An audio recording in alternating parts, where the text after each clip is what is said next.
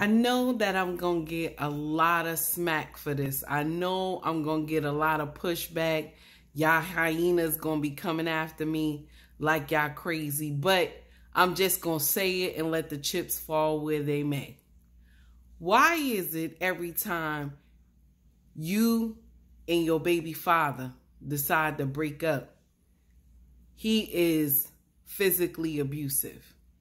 And that you're scared for the child's life. Why is it? I just want to know. We always use that. I want to know why do we use that? And then we begin to cry to make people think that this is what the man did. But in reality, you the toxic one. You the one who be hurting the child. You the one who talk down to the father in front of the child and tell the child what, what the father is and what he is not.